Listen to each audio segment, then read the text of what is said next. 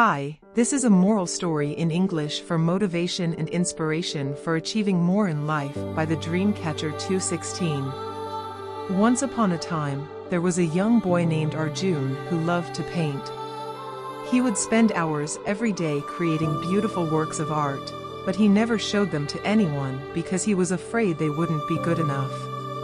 One day, Arjun heard about a local art competition and decided to enter. As he stood in front of the judges, he felt his nerves getting the best of him. But then he remembered the words of APJ Abdul Kalam, who said, You have to dream before your dreams can come true. With newfound confidence, Arjun proudly presented his painting.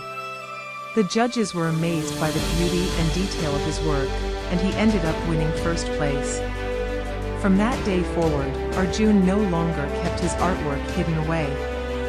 He continued to dream big and pursue his passion, knowing that anything is possible with hard work and determination. The moral of the story is that we should never be afraid to pursue our dreams and share our talents with the world. As APJ Abdul Kalam said, dream, dream, dream. Dreams transform into thoughts and thoughts result in action,